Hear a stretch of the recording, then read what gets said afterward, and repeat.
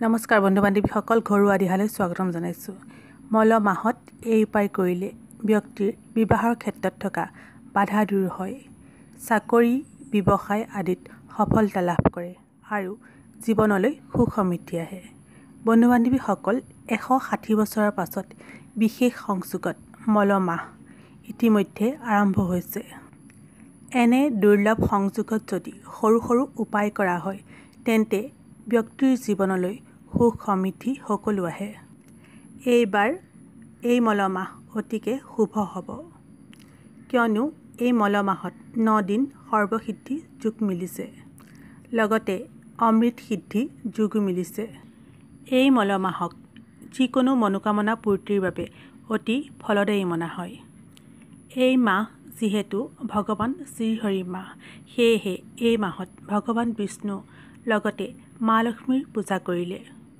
অতি শুভ মনা যায়। এই মলমাহক পুৰুষোত্তম মাহ বুলি কোৱা হয়। মলমাহক লৈ পুৰাণত অনেক ধাৰ্মিক কথাৰ উল্লেখ আছে। হাজাৰ বছৰৰ আগতে মলমাহক সকলোৱে লেতেৰা বুলি হাঁহিছিল। সেয়েহে এদিন মলমাহে শ্ৰীবিষ্ণুৰ ওচৰলৈ গ'ল আৰু ক'লে ভগৱান মোৰ নামৰ ভুল সংজ্ঞা দিয়া হৈছে। সকলোৱে মোক লেতেৰা বুলি হাঁহে। পৃথিৱীত থকাটো মোৰ বাবে অতি টান হৈ গৈছে। ভগৱান আপুনিয়েই কওক মই কি কৰোঁ? তেতিয়া ভগৱানে ক'লে মই তোমাক বৰদান দিছোঁ। আজিৰ পৰা তোমাৰ নাম মল মাহৰ ঠাইত পুৰুষোত্তম মাহ হ'ব আৰু যি এই মাহত শ্ৰদ্ধা তথা ভক্তিৰে মোৰ পূজা কৰিব তেওঁৰ সকলো মনোকামনা পূৰণ হ'ব। আৰু তেতিয়াৰে পৰা এই মাহক পুৰুষোত্তম মাহ বুলি কোৱা হয়। যিহেতু এইবাৰ আহিন মাহ মল মাহ এই মাহত কিছুমান কাম কৰিব নালাগে আৰু কিছুমান কাম কৰিলে ইয়াৰ শতগুণ ফল পোৱা যায়। আজিৰ এই ভিডিঅ'ত এই মল মাহত কৰিব লগা এনে কিছু সৰু সৰু উপায়ৰ বিষয়ে ক'ম যাৰ দ্বাৰা ব্যক্তিৰ সকলো মনোকামনা পূৰণ হয়।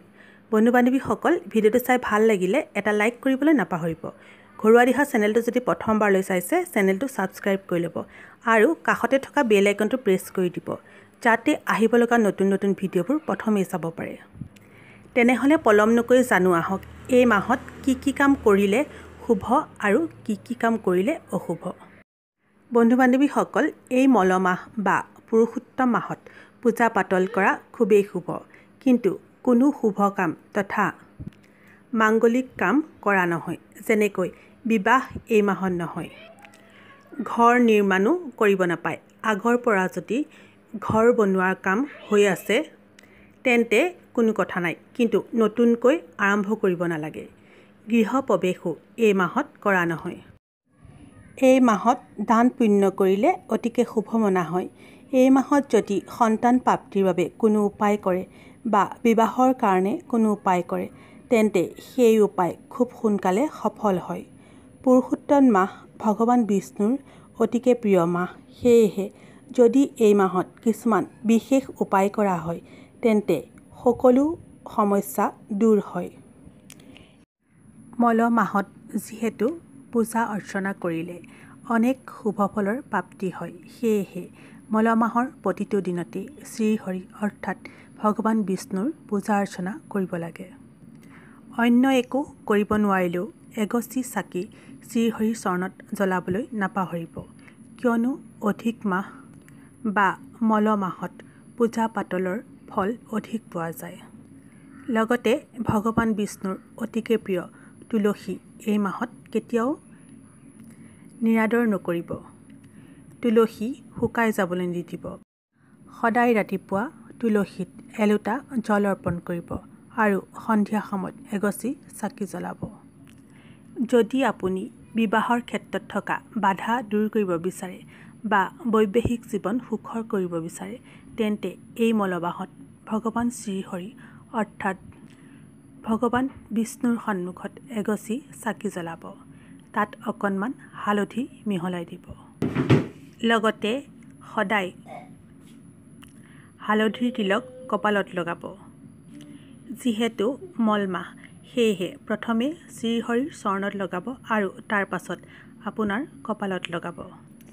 ইয়াৰ উপৰিও হালধীয়া ৰঙৰ ফল মূল মিঠাই বস্ত্ৰ আদি ভগৱান বিষ্ণুক অৰ্পণ কৰিব। আৰু এনেধৰণৰ বস্তু যদি দুখীয়াক দান কৰিব পাৰে তেন্তে আৰু শুভ। দ্বিতীয়তে যদি আপুনি ধন সম্বন্ধীয় সমস্যাত ভুগি আছে বা চাকৰি ব্যৱসায়ত আদি সফলতা প্ৰাপ্তি বিচাৰে। তেন্তে নিয়মিত ৰূপত এই মল মাহত ভগৱান বিষ্ণুৰ ওচৰত এগছি চাকি জ্বলাব আৰু আহঁত গছত জল অৰ্পণ কৰিব। লগতে আহঁত গছত যদি ৰঙা সূতা এশ আঠবাৰ মেৰিয়াই বান্ধে তেন্তে ভগৱান বিষ্ণুৰ লগতে মা লক্ষ্মী প্ৰসন্ন হয় আৰু ঘৰলৈ ধন আগমন হয়। কাৰণ আহঁত গছত ভগৱান বিষ্ণুৱে বাস কৰে। কিয়নো মনা হয় যে আহঁত গছত ভগৱান বিষ্ণুৱে বাস কৰে। বন্ধু বান্ধৱীসকল এই মল মাহত আপুনি সম্পূৰ্ণ শ্ৰদ্ধা ভক্তি তথা বিশ্বাসৰে এই উপায়কেইটা কৰি চাবচোন। নিশ্চয় মনে বিচৰা ফল পাব। লগতে ভিডিঅ'টো চাই কেনে লাগিল কমেণ্ট কৰি জনাবলৈ নাপাহৰিব। তেনেহ'লে আজিলৈ আহোঁ। ধন্যবাদ।